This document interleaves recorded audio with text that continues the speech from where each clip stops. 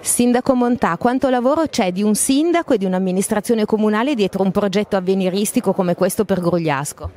È un grande lavoro frutto di anni di impegno, di recupero di risorse, ma anche di